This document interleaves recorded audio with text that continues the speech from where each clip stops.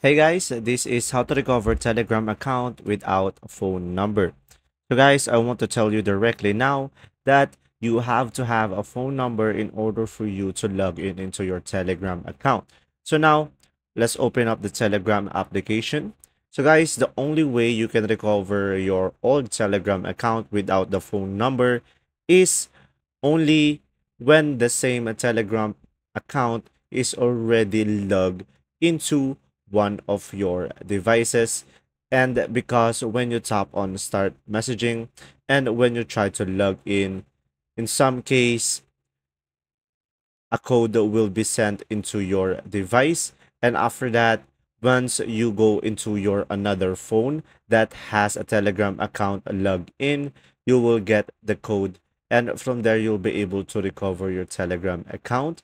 But if not you will not be able to recover it.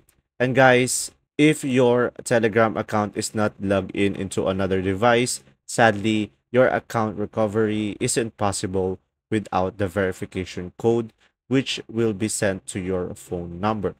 And uh, there you go. I hope this helps you out. And if this video was helpful, please like and subscribe. And thanks for watching, guys. See ya.